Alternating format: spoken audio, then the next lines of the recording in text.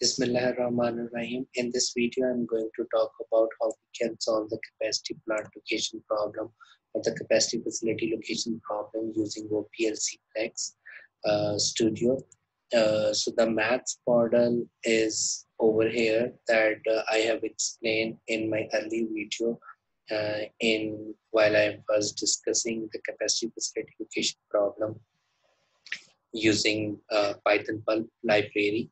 Uh, so let me quickly uh, review this model again that we want to minimize the total transportation cost uh, that is the fixed cost and the transportation cost where yi is a binary variable that is indicating should we uh, should we open that facility or not or you can say should we open the plant or not Fi is indicating the fixed cost against that opening of the facility or the plant, where Xij is indicating the transportation cost from plant I to market J, or you can say from facility I to market J.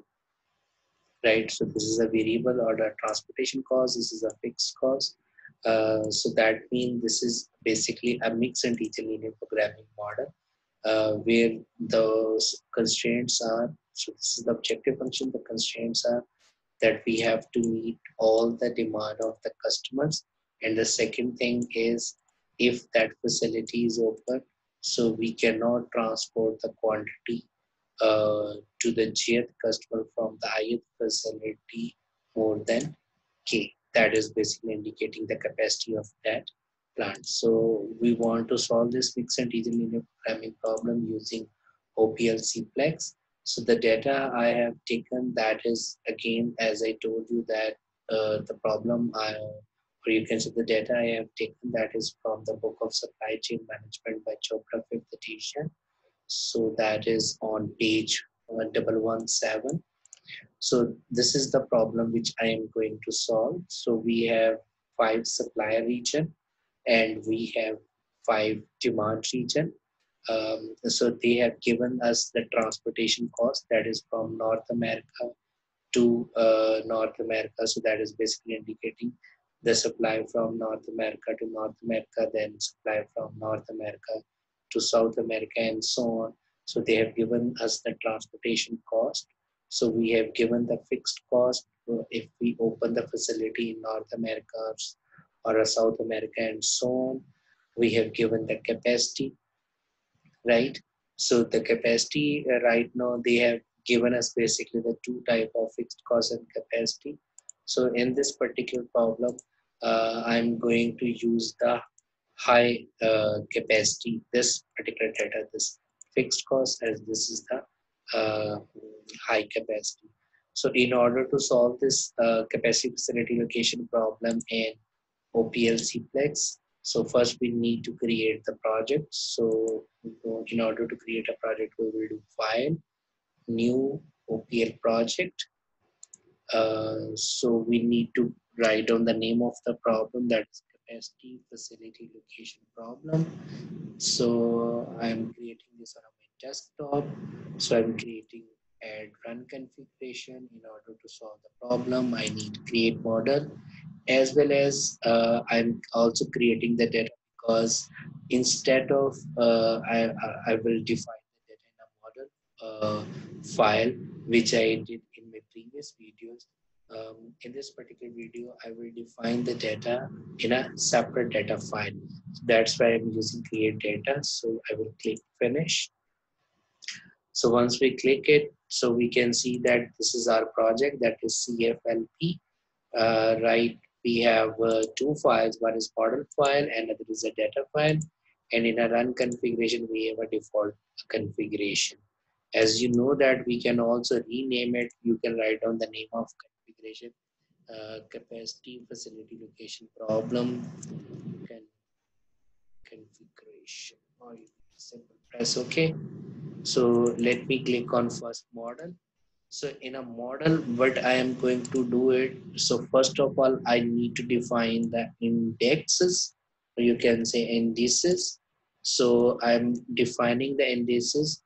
So what are the indices? That is I and J. So I is basically indicating the supply uh, part and J is indicating the demand part. So that means I is indicating from this particular facility to this particular demand region because uh, we have five uh, supply region, we have five demand region. So in order to define these indices, what I am doing it that I am saying int because I'm going to define uh, this index as an integer type. So you can also define as a string type as well. But right now I'm defining it as an integer.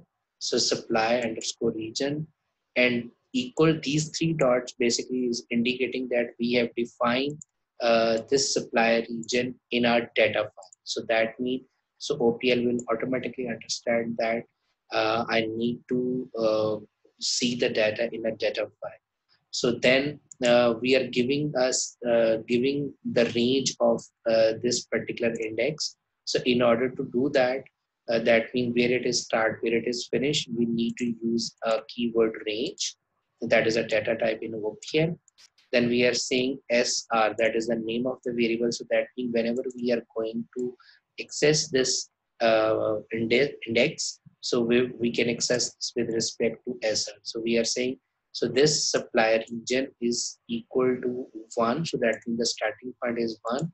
So we need to write down two dot up to where that is we will uh, give the value of the supply region. And we know that how many supply region we have? We have five supply region.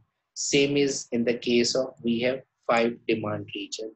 So that's why we have also declared the de demand region and we have given the range and in a data file so we will define the supply region is equal to 5 demand region is equal to 5 so that means SR range would be from 1 to 5 as well as D a region from 1 to 5 okay so the next step is we need to define the parameters so what does that parameter means parameters means we need to define the data set the available data so what kind of data we needed uh, as per our maths model? So we need uh, fixed cost, we need transportation cost, we need demand, and we.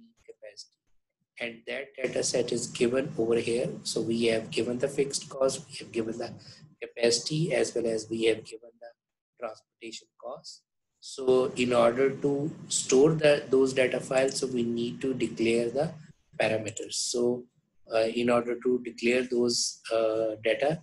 So we are saying in fixed cost, that fixed cost is basically array. So why we are saying that this is array because fixed cost against each supply region, right? Similarly, capacity of each supply region. Similarly, demand of each demand region. And then the transportation cost, we are using two-dimensional array instead of single dimension. So what's the size of this array? That would be five because we have the five supply region. What would be this one? This would be again five because we have the five demand region. So this would be five by five, right?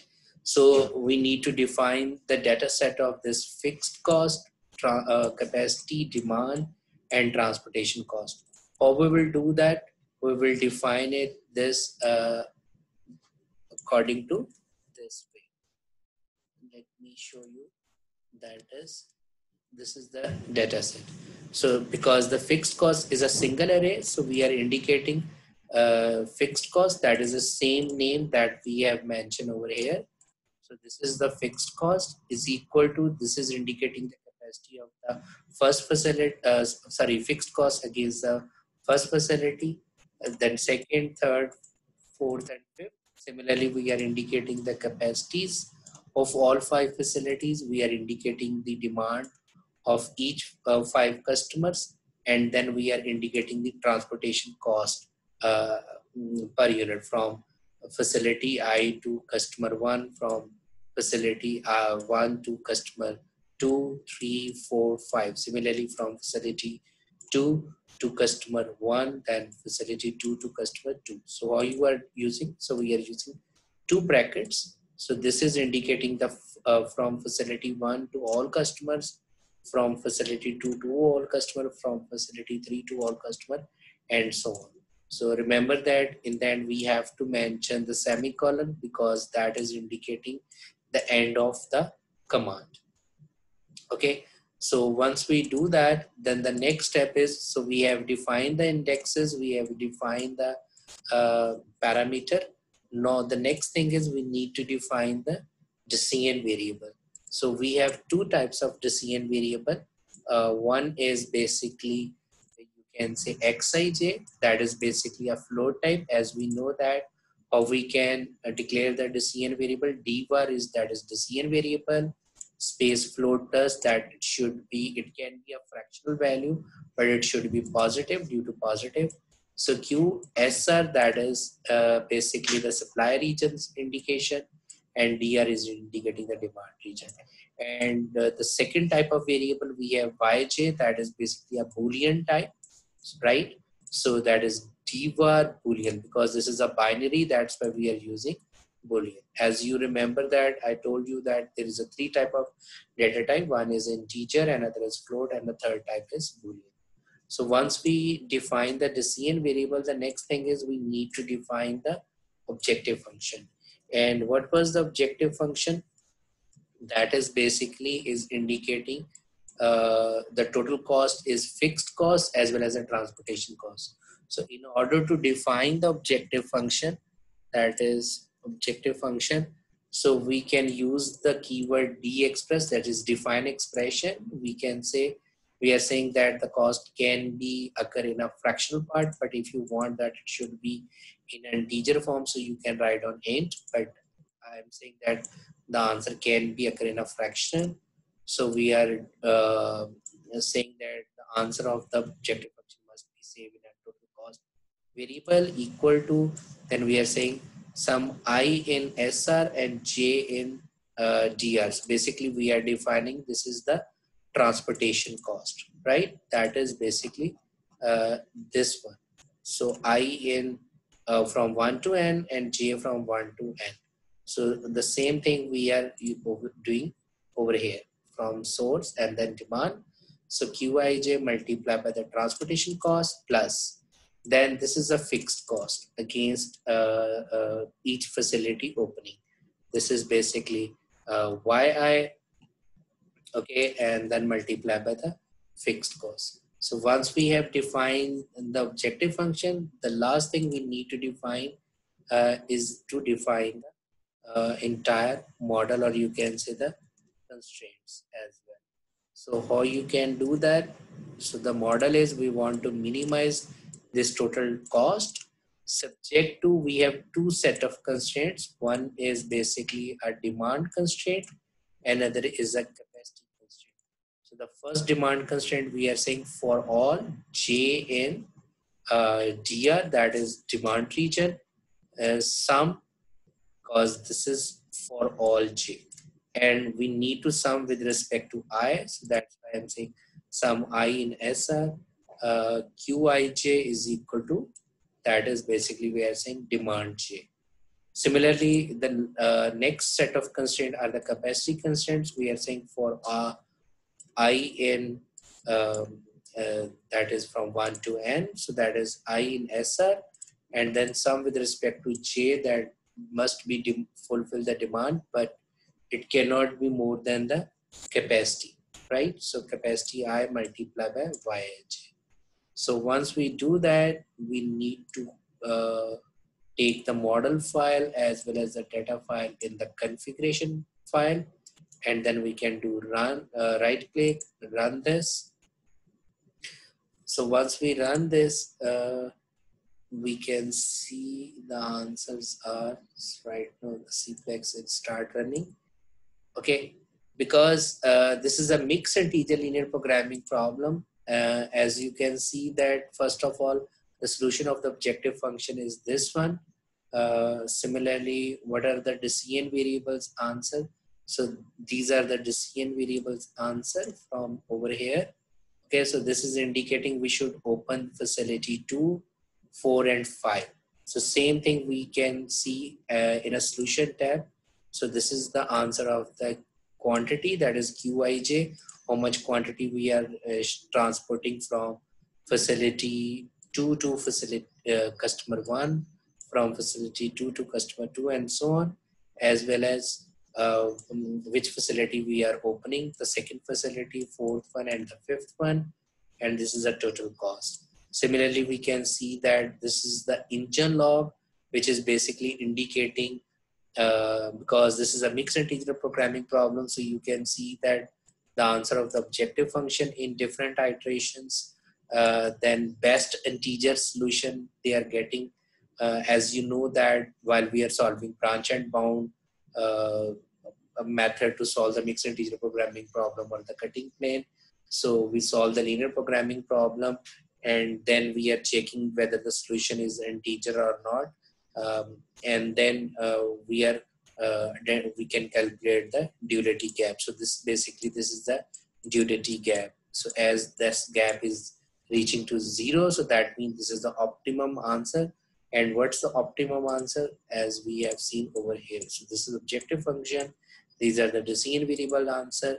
And in a statistics tab we can see the answer of the objective function number of constraints number of decision variables. Okay and next thing is in this particular graph you can as you can see that uh, these ye uh, yellow dot basically are indicating exactly as shown in the engine uh, basically the best integer solutions. So these are the best integer solution answers.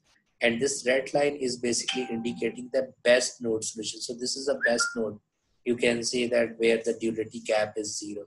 So the optimum answer is this one as you can see that uh, from the book that we also got the same answer as this book because they have solved this problem using the Excel.